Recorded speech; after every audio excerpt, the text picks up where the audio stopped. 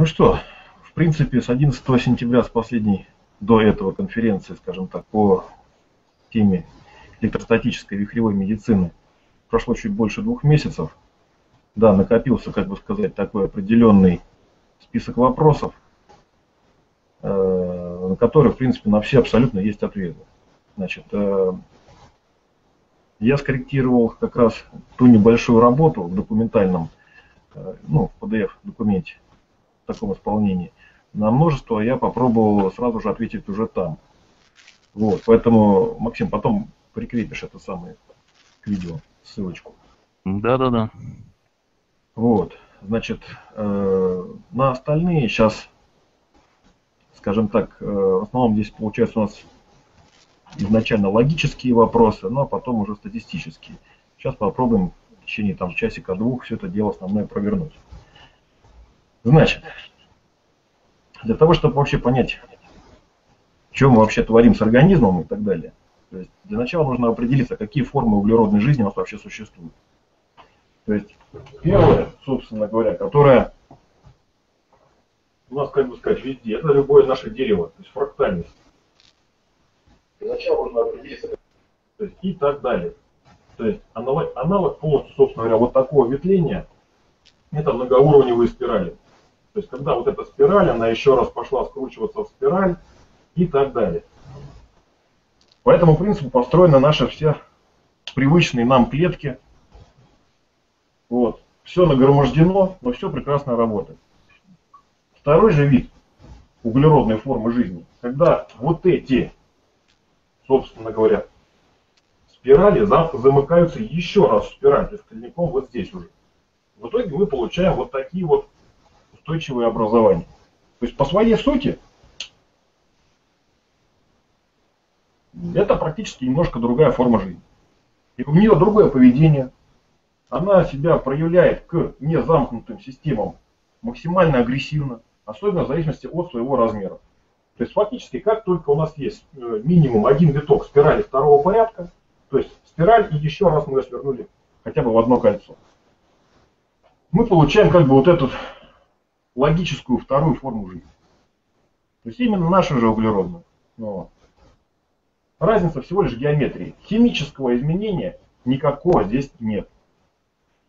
То есть, э, если рассматривать какие-то многие соединения, то есть, э, которые работают в организмах, но э, преобразование чисто геометрическое преобразует, э, как бы сказать, одни вещества в другие. Простейший пример, э, те же самые глюкоза, фруктоза. Прозрачные жидкости при геометрическом соединении вместе, они получаются сахарозой. Мы имеем кристаллическое вещество.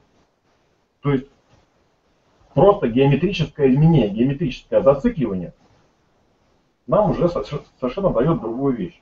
То же самое происходит со всеми видами наших заболеваний. Фактически для нашего тела получается положительными, рабочими, клетками, процессами и все остальное, именно являются не замкнутые спиральные процессы.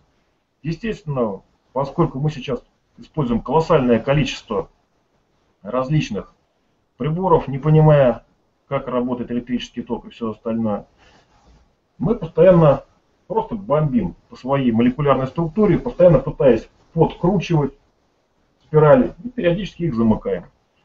В зависимости от того, на каком уровне они будут замкнуты, мы получаем фактически патологию того или иного уровня сложности, конкретно для нас. Значит, самые мелкие образования, вплоть до уровня одноклеточных, но для нашего организма являются самыми-самыми сложными. Потому что, скажем так, расщепить макрообъектом микрообъект практически не представляется возможным. В обратную сторону как бы организм нормально справляется. То есть э, какие-то легкие, там, скажем так, воспалительные заболевания и все остальное, он способен сам перебарывать. Но стоит в организме появиться более э, мелким замкнутым объектом, именно геометрически.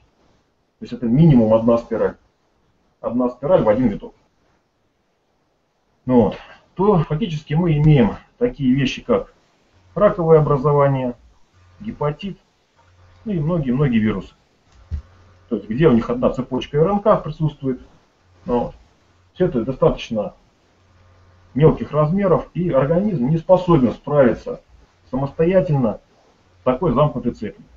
Фактически речь идет о силе, которой, собственно говоря, э, вот это образование, в данном случае для нас патогенное, удерживается. То есть удерживается все на основе разряжения. То есть фактически эффект пылесоса. То есть каждая, каждая цепочка молекул создает разряжение у себя в кольце, все друг, другу, друг, друг за другом притягиваются, создавая общий, как бы сказать, замкнутый контур, внутри которого, внутри, ну, находится именно сниженная плотность среды, именно разряжение. Ну, хотя физически там все заполнено водой. Ну, значит, воздействие на такие элементы электрическим током ну, малоэффективно. По одной простой причине. Ну да, короткозамкнутый проводник.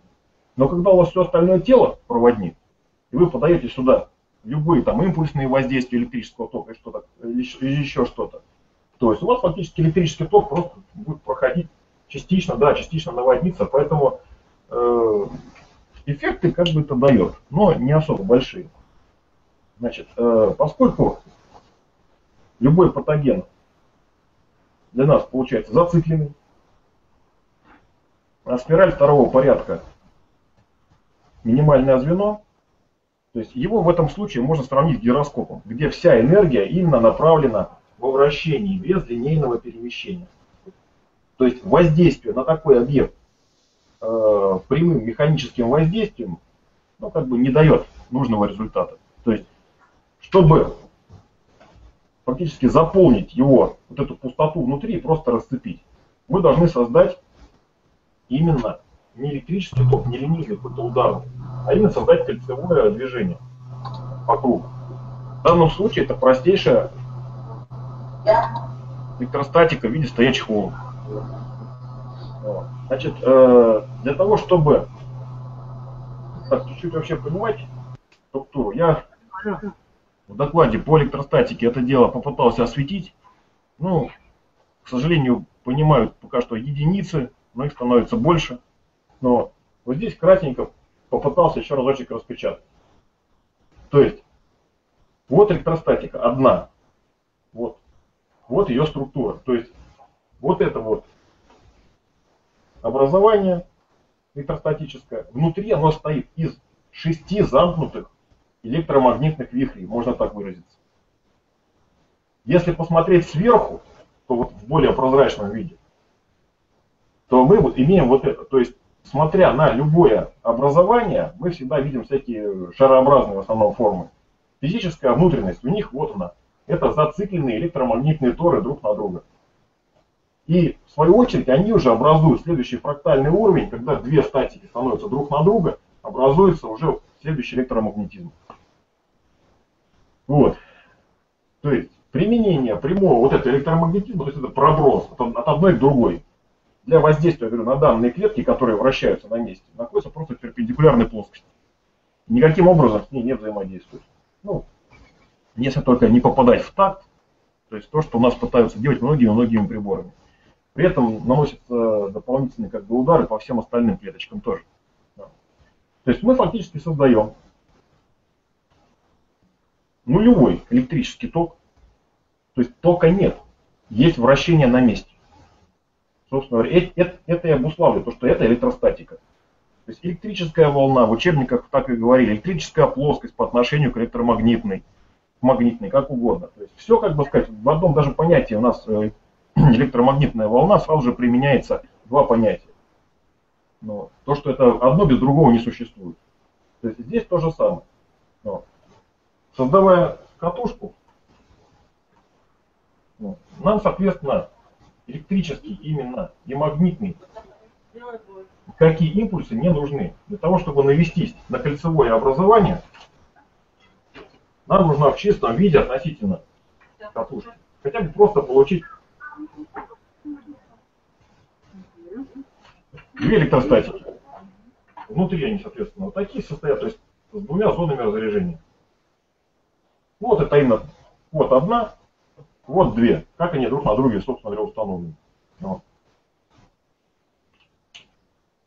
Что получается? Радиус действия в таком случае, сама, сама по себе катушка выполняется безиндуктивным методом, потому что нам нужно максимально убрать любой отсюда магнетизм, он как таковой нам не нужен. То есть поэтому исполняется бифилярная катушка, плоская, где каждый э, виток одного провода прерван другим витком. Это подробно описано в том докладике, который я недавно в марте здесь опубликовал. Схема включения катушки элементарная и простейшая. Не замкнутые обмотки по одному проводу с разных сторон. Сформировав в режиме э, на рабочей частоте вот такие два тора, ну, мы как раз именно формируем тот бестоковый режим со стоячей волной, который нам и нужен. То есть э, нахож, принцип нахождения именно э, электростатической имплазионной частоты, ну, то же самое описано в документе. Здесь вкратце объясню, почему именно так. То есть вот это, это зоны разрежения.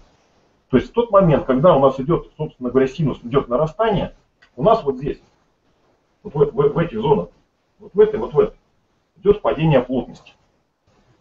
После того, как мы уже, собственно говоря, синус уходит на ноль, в эти полости, естественно, со всех сторон в пустоту, ну и в разрежение, скажем так, до пустоты там очень далеко.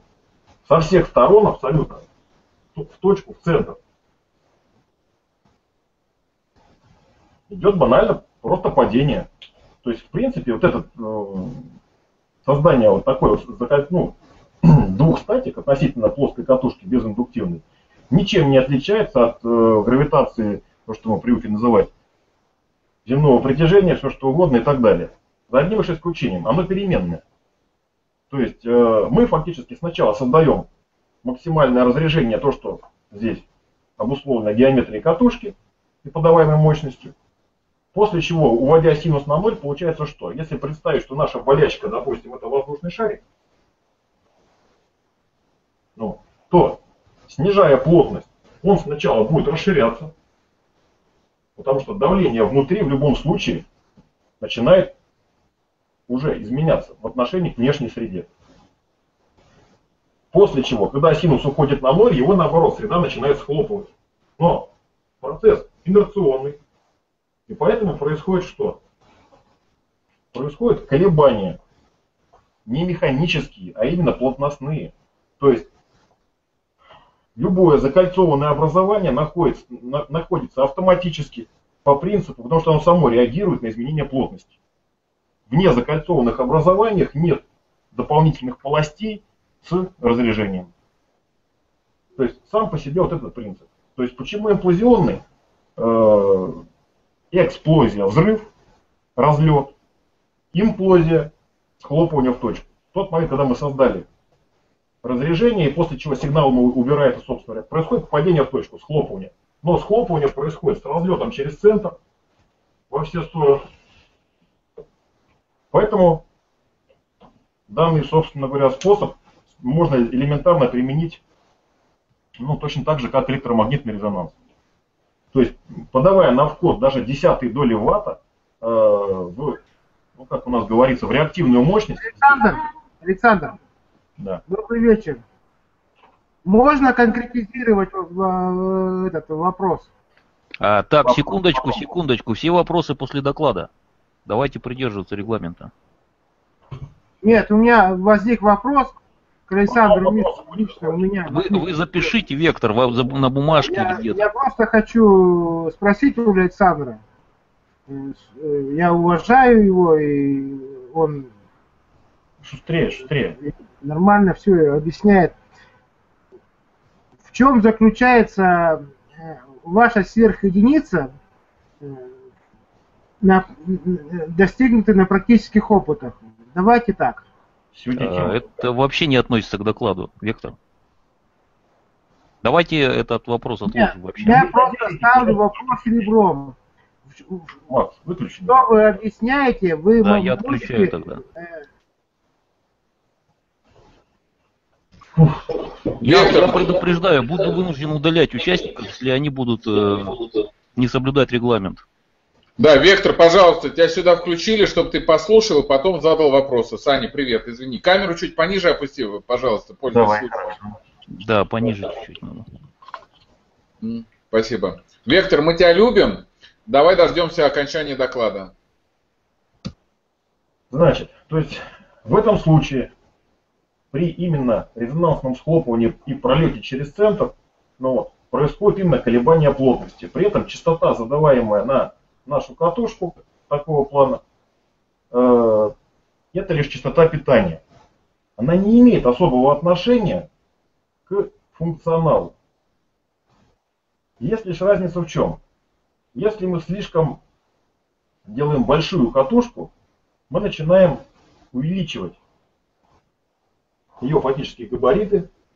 При этом речь идет о воздействии спектром. Вот теперь самый интересный вопрос, у которых почему-то всех поставил в тупик. Потому что что такое как бы спектр и как его, собственно говоря, воздействие. Вот. Очень тяжело для людей, как бы сказать, ну, вообще даже воспринимается. То есть что у нас получается? Э, значит, на простом примере вихря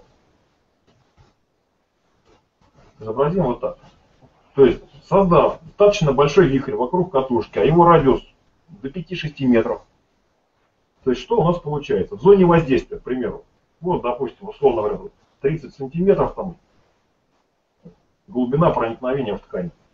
Что у нас получается? Вот это у нас, вот это наша катушка. Вот так я изображу двойная. Ну, не в той плоскости чуть, но не важно.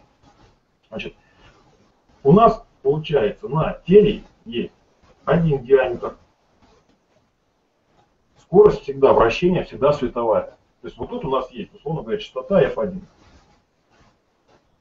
Спускаясь дальше по воронке, у нас, естественно, растет скорость вниз из-за того, что падает радиус, по которому идет э, диаметр вращения. Соответственно, частота получается уже там F2, и, соответственно, частота F2 у нас получается больше, чем F1. То есть, формируя электростатическую воронку, мы с вами вот в зону воздействия, то есть если каким-то образом график сюда нарисовать, то есть э, мы как-то вот так формируем спектр, который потом вот у нас какие-то тут минимальные частоты. Ну, вот тут, допустим, там F3, которая вот здесь вот, вот наша F3. Вот максимальная. То есть вот этот вот спектр частот, на котором мы работаем. Частота задана геометрически, физич, физически с самим вихрем. Ну, то есть здесь это я привел на примере электромагнетизма. А в реальности эту частоту нужно смотреть, повернутую вот к этому тору боковому, то есть работают все боковые. Просто такой вихрь можно и катушкой создать, обычный, то есть не создавая дополнительную электростатику кольцевую. Но. На вот это, собственно говоря, то есть у многих людей, как бы сказать, возник э, именно вот этот спорный момент, потому что почему именно такие частоты? Значит, э, при увеличении размера катушки мы получается, что формируем слишком большую, то есть опускаемся на слишком низкие частоты. Слишком низ... частоты ниже 250 кГц. Э, скажем так, по ощущениям, начали проявлять себя слабее, то есть на нескольких, собственно говоря, заболеваниях, которые были, ну, быстро проявляли себя, они начали проявлять себя слабее, а ниже 200 кГц были замечены случаи, наоборот, обратного эффекта даже. То есть э, слишком громадные катушки могли вызывать наоборот аритмию сердца, но э, какие-то, допустим, боли дополнительные и так далее. То есть получился диапазон частот, который очень хорошо себя, как бы сказать, именно это частота по питанию. То есть сам, сама воронка, сам спектр задается только геометрией катушки. То есть, вот, к примеру, катушка ну, из блокированного провода. Ну, то есть у нее получается внутреннее отверстие, которое задает вот эту частоту. Ну, и, соответственно, внешний диаметр. Это вот основная как бы ее рабочая зона, потому что мы в упор ее прикладываем фактически к телу. Значит, по поводу расстояния приложения. Значит, э, эффективность. Просто эффективность. То есть не обязательно прям в упор до миллиметра, но буквально там та же самая любая одежда, она хуже ничего не делает. Но. Значит, практическим путем, можно сказать, за полгода были определены именно оптимальные параметры, то, что внешний габарит катушки, вот этот вот, мы оставляем в районе 250 миллиметров, не больше. Но вот, при увеличении, говорю, то есть они могут начать проявлять себя в обратном направлении. И частотный диапазон по питанию, подчеркиваю, ну, вот, вот где-то 250 можно, ну, до 400. Ну, это в килогерц. Ну, то есть вот в этом диапазоне э, у нас получается замечена, скажем так, самая ну, эффективная работа различных безиндуктивных емкостей. Вот. То есть по, на физическом уровне получается, что электростатика наводится на любое кольцевое образование. И поскольку у нее, то есть мы должны создать плотность внутри вихря меньше, чем плотность разрежения вот здесь.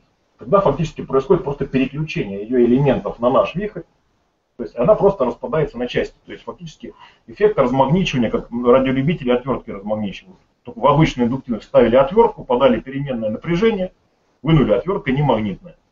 Все. То же самое происходит здесь. То есть э, в организме автоматически сканируются, то есть э, не только конечно слово сканируются, реагируют э, именно закольцованные образования, которые взаимодействуют именно состоящей волной электростатики. Собственно говоря, вот это и весь основной принцип работы. То есть после чего происходит распад сложных вот этих кольцевых образований на составляющие. То есть физически, почему проявляет себя э, закольцованное образование э, как бы агрессивно к другим. То есть у любого закольцованного получается, что скорость вращения выше. У него э, трение с внешней средой получается по отношению к другим клеткам. Он замкнут сам на себя, второй, любой, хотя и сложной формы. Но сам в себе там крутится. То есть фактически, да, имеет повышенную с точки зрения энергии движения скорость вращения. Вот. Это простейшее трение, которое организм точно так же детектирует. То есть болячка наша чаще всего имеет покраснение, повышение температуры. Это простейший эффект трения. То есть никакой как бы тут медицины, то есть чистая физика. Но и имеем разницу скоростей вращения одного объекта относительно другого. Но. Это вот на основании, как бы сказать, принципа детектирования. Значит, э, создание, значит, можно, естественно, любым образом создать. Значит, плоские катушки, они получаются самые нежные в том плане, что у них максимально ровный спектр. То есть вот эта вот грань у них идеальная. То есть если мы наматываем, то есть э, для того, чтобы сделать катушку, которая своей емкостью будет наводиться на более мелкие закольцованные образования, то есть мы, получается, как бы должны уменьшить, чтобы горловина более острая получилась. Для этого, как бы с чего и начал, то есть именно тороиды, банальные извитой пары намотанные. Значит, чем отличие тороида от плоской катушки? У тороида есть в любом случае витки, которые более-менее повторяют диаметр намотки. И вот этот вот горловина, то есть если два витка у нас получается примерно одной длины, то мы будем получать немножко ускорение в районе действия спектра. То есть у нас получается не гладкая вот здесь, а вот это вот рваная то есть как бы вся воронка, состоящая немножечко из гармоник. Это видно даже на осциллографе. То есть особенно если емкость коряво намотать, она прям может э, при замере там, электрического тока просто ямки такие давать даже. Вот. То есть вот это вот погрешность, собственно говоря, наших, э, изготов... нашего изготовления. То есть в этом отношении то есть самыми чистые по намотке являются именно вот такого плана плоские катушки. То есть такого, ну и более толстым проводом, если можно. То есть если нужно сделать, чтобы она работала с еще более агрессивными заболеваниями, хотя в принципе вот это работает сейчас пока со всеми. Но, то есть сейчас тестируем катушки, которые из провода 0,1-0,2 мм. Изготовить руками, конечно, немножко сложновато, провод достаточно тонкий. Значит, э, немножко по геометрии. Вот. Поштудировав, значит, интересный раздел, скажем так, электростатики в габаритах, выяснилось следующее. То, что все средовые,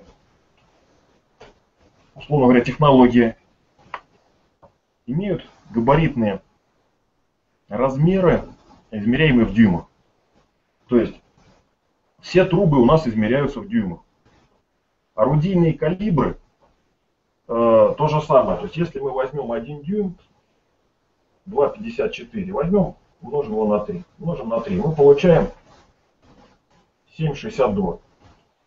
Калибр АКМ, собственно говоря. Ну и, соответственно, если, поскольку это в сантиметрах у нас, 76,2 это калибр, собственно говоря, орудий, которые применялись 76 миллиметровых во Вторую мировую. То есть получается что? Люди, которые это дело рассчитывали, вообще прекрасно понимали, что они делают. То есть если изменялись эти размеры не очень удачно, орудие просто разрывало.